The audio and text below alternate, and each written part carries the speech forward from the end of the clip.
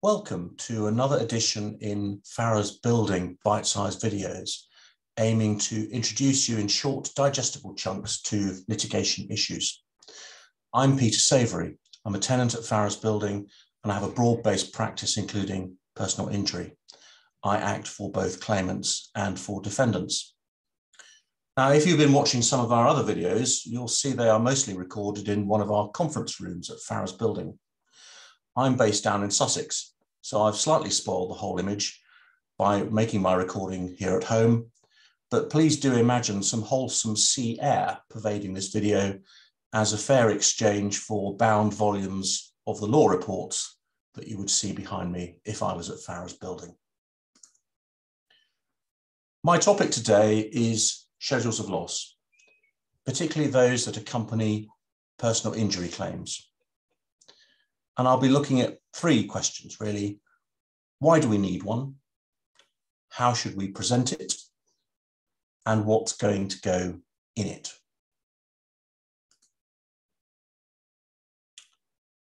First and most obviously, how will the defendant know what you want? That is not intended as a flippant remark.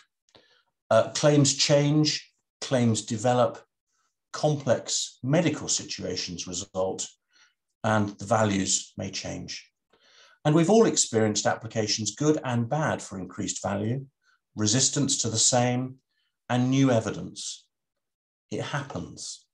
But first principles are important. Limitation in personal injury claims allows for a decent period to quantify matters pre-issue. So formally, therefore, a schedule of loss needs to accompany the particulars of claim.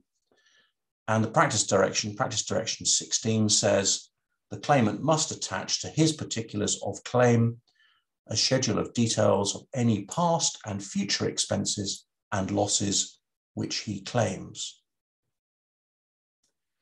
I'm going to say straight away, excuse me, that it's a matter of style with simpler claims where perhaps the special damages are limited to one or two past items only, whether or not the schedule of loss is actually a separate document. It does appear to be entirely acceptable to include one or two items only within the body of the particulars of claim, and I do so. For example, when it might be a couple of items of damaged clothing resulting from a road traffic accident. But more broadly speaking, when dealing with complex heads of loss, where more detail is required, much better to have it as a separate document. You will, of course, in preparing your claimant documents, be considering the value of the claim from the outset, as you have to include a statement of value on both the claim form and in the particulars of claim. And some early drafting of the schedule of loss is going to assist you to do that. If you're in a position of having received a liability admission from the defendant, the pre-action protocol for, for PI claims, paragraph eight, it's in the white book, uh, sets out that the claimant should send to the defendant a schedule of past and future losses which are claimed, even if the schedule is necessarily provisional. Uh, and that schedule should contain as much detail as is reasonably practicable. Timing of the sending of the schedule is, of course, an issue. It's very rare not to send a schedule of loss of some kind at the same time as the claim form, particulars of claim. It is possible to seek dispensation, but given the parties should be spending some time in pre-litigation correspondence before issue of the claim, some of that time will be, or should be, taken to attempt to quantify the claim. As I've said earlier, ongoing losses and medical developments can present a challenge, but at minimum, identifying the different heads of loss which the claimant reasonably has something to recover is important. Now, before we consider the content of the schedule of loss, a brief word about format. There is no specified format within the civil procedure rules. Over time, you will develop your own style, you will use your own templates, and you will see and respond to better presentation by others. You will also see the different styles that counsel whom you instruct are using and may take a view as to what you prefer. Some schedules are sent out as Word documents or similar, some are produced in Excel, and some use software programs, of which there are several. It's a matter of personal taste. A schedule is often a work in progress, though, and when it's issued, it's likely to be editable in the future. So, in making a decision as to how to produce the schedule, decide on something that means you can make those edits without too much difficulty later on. My own schedules are produced in Word.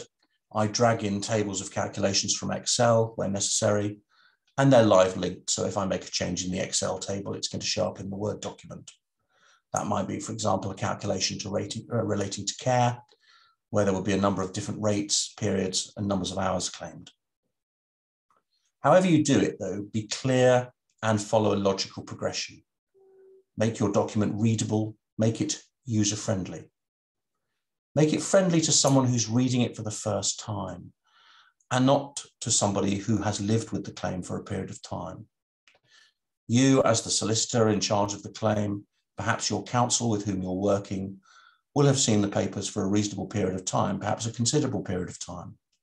The defendant is getting the schedule for the first time, so don't take anything for granted. And frankly put, a visually pleasing schedule is a schedule that can be taken seriously by both the defendant and the court alike. By the defendant when they're considering their defense and their counter schedule, and by the court, not at trial, but probably when they're first considering allocation. Whatever software you're using, I recommend a short introductory section with some figures, claimant's date of birth, the date of the index incident, the date of the schedule, i.e. to which your ongoing losses are prepared, and things that relate to Ogden table matters, assumed dates of retirement and so on and so forth. They can all be set out at the beginning, especially where that core information is then needed at various points throughout the schedule. If you link it all up, a change at the beginning section is going to be reflected elsewhere in the schedule. And when you get to the end of the schedule, however many pages it's going to be, a single page, usually an Excel table, just summarizing the heads of loss and the total claimed in respect of each with the grand total is very useful. And do remember, it's a pleading. It should be signed with a statement of truth, either by you acting for your claimant or by the claimant. So what's going to go in the schedule? Well, obviously anything you want to claim for, anything the claimant wants to claim for, that you're instructed to do so. I say everything that is reasonably arguable should be in there, whether in terms of what it is and the amount. Uh, plainly, if it's not on the schedule, you're not going to get it. What a claimant tells you they want to recover, they may not be recoverable in law. It may be exaggerated. Conversely, it may not be the full extent of what could be recovered a lay client is very rarely going to be in a position to think through all their potentially recoverable losses and how to quantify those without professional assistance. Avoid including matters which at more than a cursory glance are unsustainable or which are contrary to the evidence. A good medical report or reports will often have made mention of some of the past and future matters which are likely to be claimable. Phrases along the lines of, as a result of this incident, the claimant can no longer do the following, and as a result needs whatever it might be, care and assistance. A helpful medical report will assist you in preparing the schedule of loss. Avoid including things for which there is no evidence. One of my tests is imagining the final hearing. The claimant is there, present with a witness statement.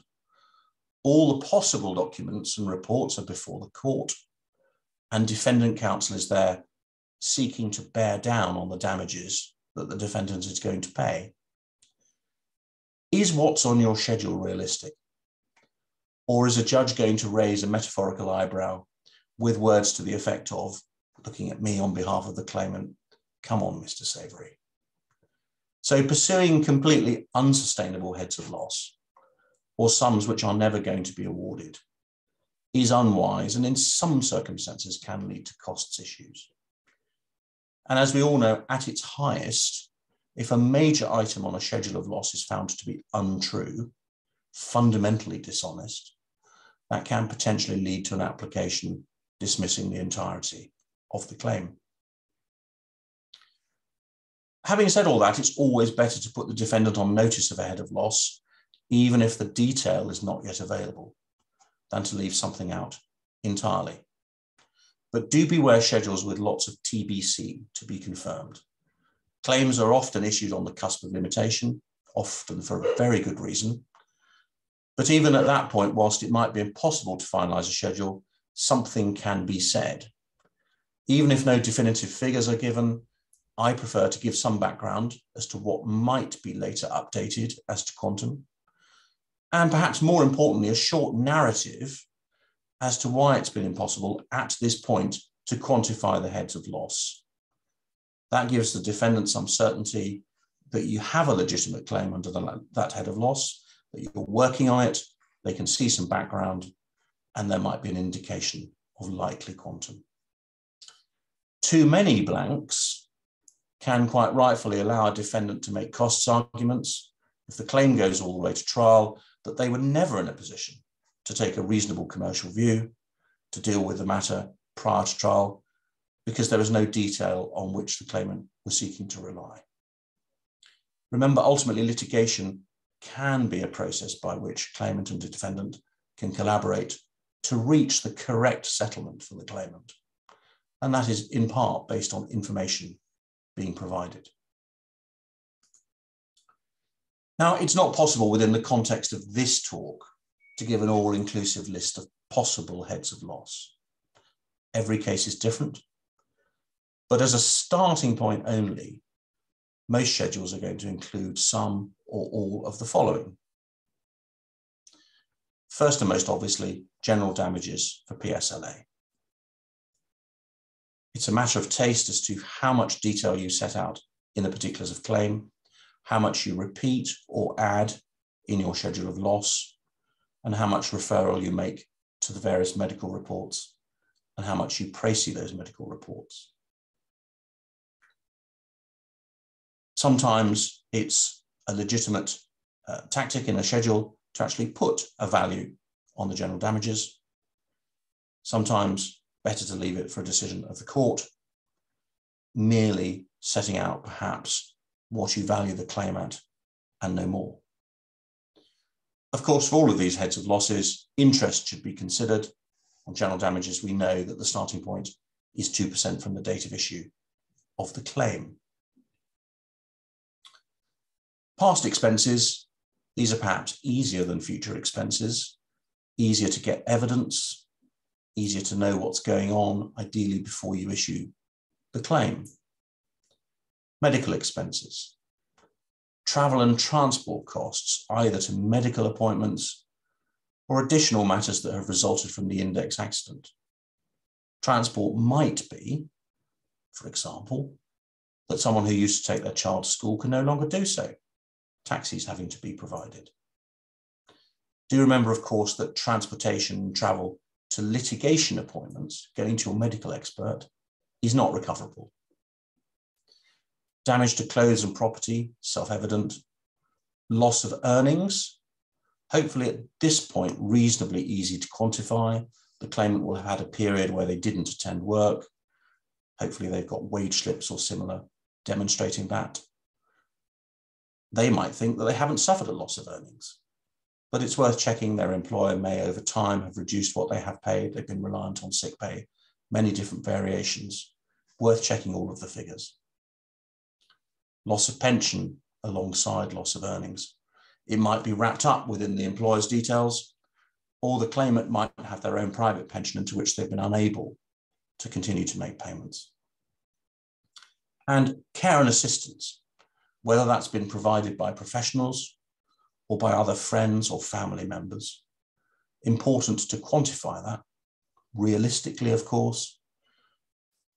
And ultimately, it might be a requirement to have some evidence of the same if the claim is reasonably large. Future expenses. Well, this, of course, is where the calculations start to get more complex. The Ogden tables are at the forefront of what is being asked. They consider the longevity of the claimant, the need for payment of sums to notional retirement dates or to notional death, or perhaps on a periodic basis. Ongoing future losses of even a modest annual sum for a middle-aged claimant can amount to very large sums once they're multiplied up, as I say, to the notional retirement date or notional death date. Care must be taken to correctly calculate those. What is the annual loss? So what is the starting point for the calculation? And what is the multiplier for each of those annual losses? Uh, a slip of a few pounds one way or the other at the outset can result in many thousands of pounds difference at the end of the schedule. It's important to be accurate, not only so the claimant doesn't suffer a reduction in their damages, but also the other way. So the defendant's first response is, I'm sorry, but these figures are wrong. Loss of earnings. Can the claimant work at all? Or is this a claim where they can work to a lesser degree and what can be reasonably suggested as their likely future income? Always a very tough calculation to do, particularly the reduced income position. The claimant may not know. The claimant's medical situation may be changing over time. Even three years after the index accident, point of limitation, it may be unclear what their future possibilities are.